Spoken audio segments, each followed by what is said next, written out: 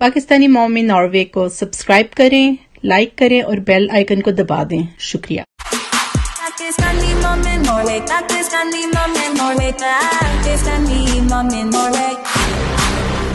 बिस्मिल्लाहिर्रहमानिर्रहीम। अस्सलाम वालेकुम बैक टू माय चैनल। मेरी प्यारी प्यारी यूट्यूब फैमिली, कैसे हैं आप सब लोग? उम्मीद करती हूँ कि आप सब लोग खैरियत से होंगे और अपने अपने घरों में खुश आबाद आमीन, सुम आमीन।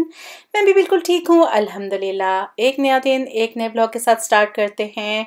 ये क्लिप जो है लास्ट वीक का है और मेरा बहुत दिल कर रहा था हलवा खाने को और जैसे कि आप लोगों को पता चल चुका होगा तो मेरा बेटा जो है माशाल्लाह छोटा वाला वो बहुत अच्छी कुकिंग करते हैं और स्वीट तो वो बहुत ही कमाल की बना लेते हैं।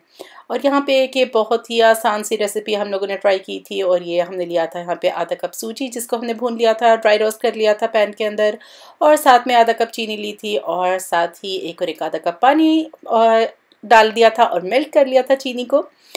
और उसके बाद लिया जी हमने तकरीबन 50 ग्राम यहाँ पे लिया बटर और उसके बाद जी सूजी को बीच में डाल दिया। जैसे कि आप लोगों को नज़र आ रहा है तो कलर बहुत ही खूबसूरत था सूजी का और खुशबू तो लाजवाब आ रही थी। और फिर भून लिया जी उसको हमने मक्खन के अंदर और फिर आपने ऐड कर दिया जी अपना शीरा और फिर जी, लाजवाब, मज़ेदार सा हलवा हो गया जी आपका तैयार। और यहाँ पे आप देख सकते हैं कि आप उसको कितना थिक रखना चाहते हैं। और मुझे पसंद है थोड़ा सा नरम हलवा पसंद है। और यकीन मानिए कि बहुत ही मज़ेदार हलवा बना था, लेकिन थोड़ा सा घी कम था, लेकिन कोई बात नहीं। और फिर वही बात आ जाती है कि जब आपने खाना हलवा तो डाइट वाइट जो है, वो नहीं हो सकती। और कम जो है घी में हलवा नहीं बनता। लेकिन बहुत ही मज़ेदार बनाया बेटे ने हलवा, बहुत मज़ा आया।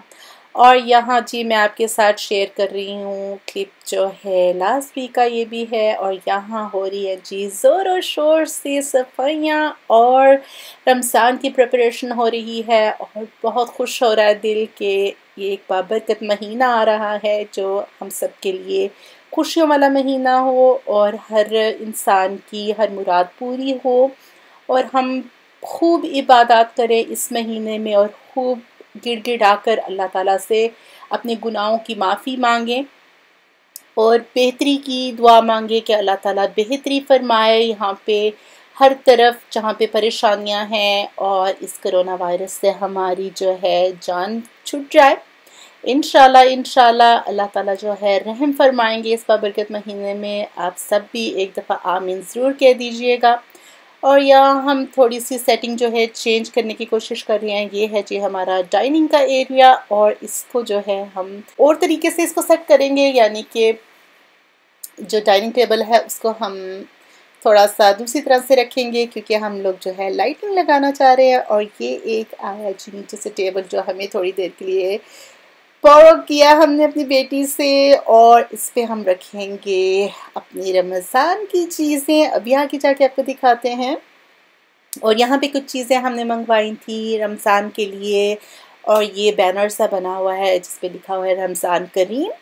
और एक बैनर हमने मंगवाया है जिस पे लिखा हुआ है ईद मुबारक। और साथ में बलून्स हैं ईद के, लेकिन वो बाद में इंशाल्लाह वो वाला जो है ब्लॉग बाद में बनेगा।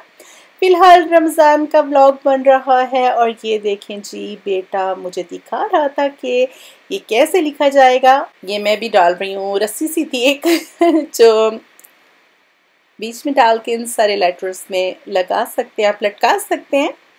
तभी मैं वही डाल रही हूँ और बहुत मज़ा आ रहा है रमज़ान की प्रिपरेशन करते हुए और दिल बहुत खुश होता है और मैं समझती हूँ कि छोटी छोटी सी खुशियाँ जो हैं ये बहुत ज़रूरी हैं और अपने बच्चों को, जैसे कि हम लोग जो बाहर रहते हैं हमारे लिए तो और भी ज़्यादा ज़रूरी है कि हम अपने बच्चों को इन त्योहारों के बारे में बताएँ और इनकी अहमियत बताएँ।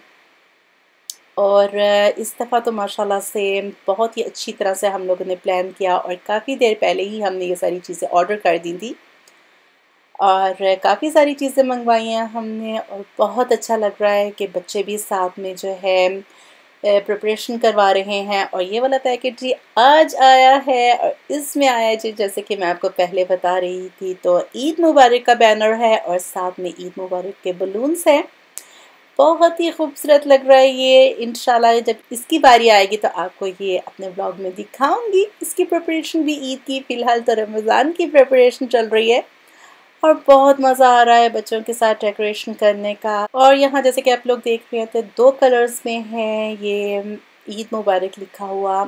एक थोड़ा सा येलो कलर है और एक है गोल्डन कलर बहुत खूबसूरत लग रहा है, माशाल्लाह। और ये गिफ्ट मिला है जी हमें।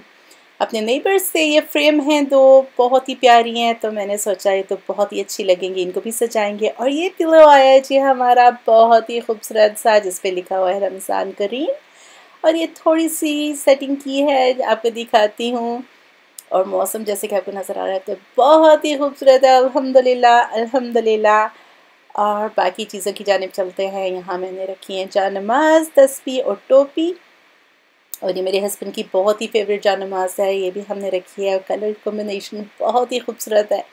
और यहाँ रखी हैं जी हमने चीज़ें, अभी आपको दिखाती हूँ कि सेटिंग कैसे करनी है। ये टेबल जो हम लोगों ने साइड पे लगाया है, इधर हम लोग अपना जो है रखेंगे ग्लास वगैरह, लेकिन फ़िलहाल जो है मैं इधर से जा रही हूँ, ये फ्रेम है बहुत खूबसूरत, इन पर बहुत खूबसूरत सा लिखा हुआ है। आपको किसी दिन फिर पढ़ के दिखाऊँगी कि क्या है, वरना अगर आपको नज़र आ रहा है तो बहुत प्यारा लग रहा है। और ये कैलेंडर लिया है जी हम लोगों ने, जो मैं आप लोगों को पहले भी दिखा चुकी हूँ। बहुत खूबसूरत है और ये साथ में मैंने जी रखा है ताजमहल क्योंकि बहुत खूबसूरत अच्छा लग रहा है। सेटिंग्स की अच्छी प्यारी सी होनी चाहिए। और ये कैंडल्स मैंने जलाई हैं यहाँ पे, और देखें जी, कितना खूबसूरत लग रहा है। ज़रूर कमेंट करके बताइएगा कि आप लोग भी किस तरीके से प्रिपरेशन करते हैं रमज़ान की, और यहाँ आप लोग देखें कि हम लोगों ने किस तरीके से किया है। और बहुत प्यारा लग रहा है सब कुछ। अल्हम्दुलिल्लाह। अल्लाह ताला बरकत डाले सबके खानों में। और सेहत तंदरुस्ती से रखे सबको। आमीन सोमामीन और ये देखिए जी लाइटिंग भी लगाया हमने, ये बलून्स लगाए हैं। बहुत खूबसूरत से मून से बने हुए, नज़र नहीं आ रहे अभी। इतने बहुत प्यारे से, छोटे से चाँद से बने हुए हैं। और यहाँ लिखा हुआ जी रमज़ान करीम है। पहले भी मैं अपनी स्टोरीज़ पे शेयर कर चुकी हूँ, लेकिन एक दफ़ा फिर से आपको दिखाती चलो, और ये भी बहुत खूबसूरत सा बना हुआ है, एक लाइटिंग सी बनी हुई है। इधर इस पर भी रमज़ान लिखा हुआ है, बहुत प्यारा लग रहा है। और जगमग कर रहा है, और ज़ाहिर सी बात है कि जब इफ्तारी हुआ करेगी, और तब अंधेरा होगा, और ये बहुत सी खूबसूरत सी प्यारी सी लाइटें लग रही होंगी तो बहुत अच्छा सा समा होगा, माशाल्लाह माशाल्लाह। ये देखिए जी, हमारा तैयारी जो है हो चुकी है मुकम्मल और ये आज मैंने स्टोरीज पे कुछ तस्वीरें लगाई हैं और उनकी तस्वीरें आगे साथ शेयर कर रही हूँ। और बहुत अच्छा लग रहा है, दिल बहुत खुश हो रहा है और बहुत बेताबी से इंतज़ार है जी रमज़ान करीम का। अल्लाह ताला आप सबको खुश रखे, आबाद रखे। उम्मीद है कि आपको मेरी आज की वीडियो पसंद आई होगी। अपना और अपने प्यारों का बहुत सा ख्याल रखिएगा और मुझे भी अपनी प्यारी सी दुआओं में याद टेक केयर अल्लाह हाफिज़